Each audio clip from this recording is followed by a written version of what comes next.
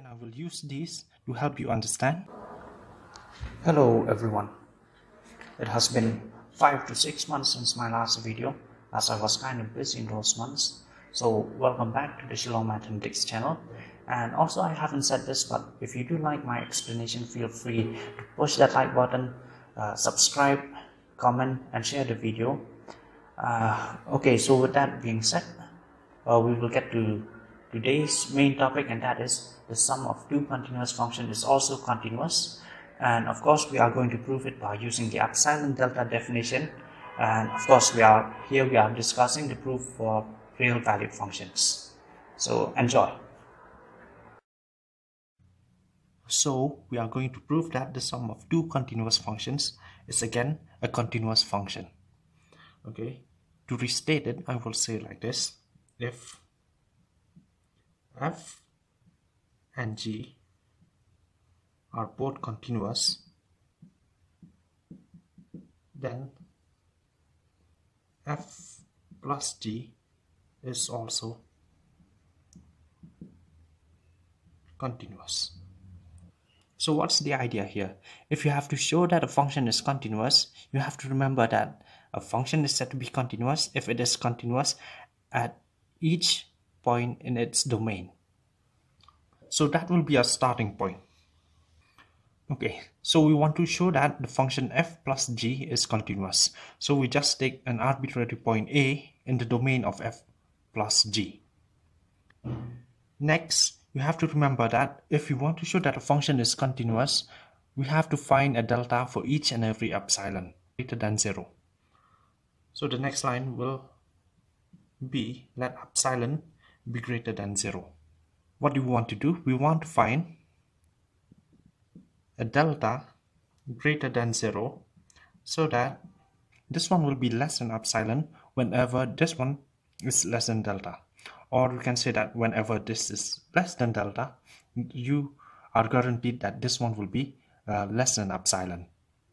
Uh, one thing you have to take note over here is that for each epsilon greater than 0 we can find this delta that will be quite useful for any epsilon greater than 0 okay so how are we going to get that delta? It's only natural that we have to use what is given to us. That is f is continuous as well as g is continuous. Okay so this is given to us uh, that f and g are both continuous. So because f is continuous we can also say that f is continuous at a because a is a pointed domain and similarly g is continuous at a. Now comes the crucial point uh, in this proof. Uh, f is continuous at a. G is continuous at a. So for any epsilon greater than 0 we can find a delta for this f. And similarly for any epsilon greater than 0 we can find a delta for this g. Okay so i will just write it down. But instead of epsilon over here i will write epsilon by 2 greater than 0 you have to take note over here that we can do this one with anything that is greater than 0. But why did I choose epsilon by 2? That will be revealed in the later part of this video. But this epsilon by 2 is indeed convenient for us. But also we have to make sure that this one, this quantity that we are choosing over here is greater than 0. But epsilon by 2 is indeed greater than 0 because epsilon is greater than 0. So for this quantity that is greater than 0, we can find a delta 1 so that fx minus fa is less than epsilon by 2 whenever x minus a is less than delta 1. I will just put this whole thing as 1. And similarly, because g is continuous at a, so for anything that is greater than 0, again I'm choosing epsilon by 2 over here because it is convenient for us. We can find a delta 2 so that gx minus ga is less than epsilon by 2 whenever x minus a is less than delta 2. I'm just writing this whole thing as 2. We, we will have to use this one uh, later on. Oh, again, remember what we have to do. We have to find a delta that will work for an epsilon for f plus g. So what's the idea over here? Uh, the idea is that we just have to find a delta that will work for f and g at the same time.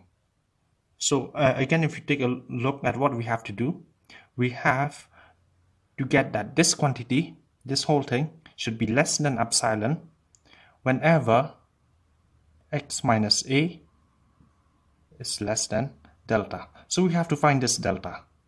So how are we going to do it? Because it is pointwise addition, so we can do this.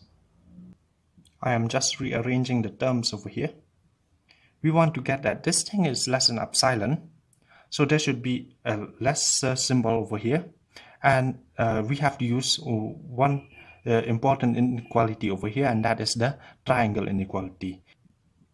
The triangle inequality says that uh, this one is less or equal to mod a plus mod b okay so so over here you can take this whole thing as uh, a this whole thing as b you will have this one fx minus fa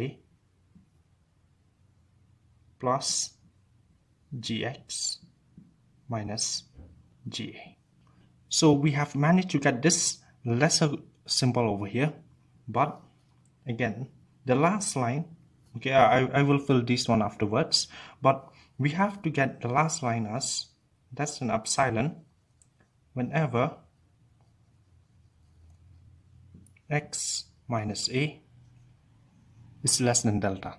From here can we write this one by using 1 and 2 because from 1 and 2 we have obtained that this one is less than epsilon by 2 and this one uh, we have obtained that this one is less than epsilon by 2. So, so can we just directly write from over here to over here less than epsilon by 2 plus epsilon by 2 uh, which is equal to epsilon. Uh, it looks like we, we can do this. But in fact, we cannot do this because remember that when this one is less than epsilon by 2, we have that condition that x minus a less than delta 1. And similarly, to jump from this line to this line, we need the condition that x minus a is less than delta 2. We need to impose these conditions first. And also to impose both of them at the same time. So how will we do it? What's the idea over here? The idea is this. Uh, again, I will use these to help you understand.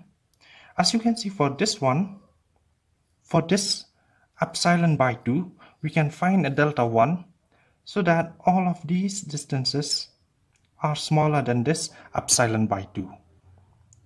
And for this g over here, for this epsilon by 2, we can find a delta 2 so that all of these distances are smaller than this epsilon by 2. But what you can see over here is that this delta 1 does not work for this g it only works for this f okay? Delta 1 works for f it doesn't work for g okay? Whereas delta 2 whereas delta 2 works for f as well as it works for g okay? It works for f as you can see uh, over here. All these distances are uh, smaller than this epsilon by 2 this one does not work for g it does not work for g because uh, this distance over here is greater than this epsilon by 2 okay? So so which one which one will work for both of them? It is this smaller one. Okay? The smaller of the deltas will work for both f it will work for both g for the same epsilon by 2 and if we use that what we can write is this. If we take for delta equal minimum delta 1 delta 2 we are assured that delta we'll have this one and also we will have this one. So now we can do like this. This first one will be less than epsilon by 2 the second one will be also less than epsilon by 2 whenever x minus a is less than delta. But again, you may have remembered that we do need uh, x minus a less than delta 1 as well as x minus a is less than delta 2. But if we do have x minus a is less than delta, from this one, you can see that we can also have x minus a is less than delta 1. And similarly, we will be able to have x minus a is less than delta 2 by using this one. Okay, so now we can jump from over here to here whenever x minus a is less than this delta.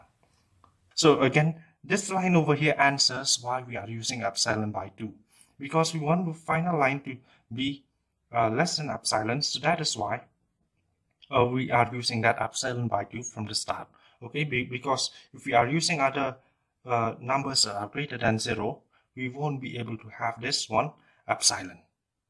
So that completes the proof. But what that theorems also say we can have 2 we can have 3 we can have any finite number of continuous functions. The sum of them will always be uh, continuous provided all of them are continuous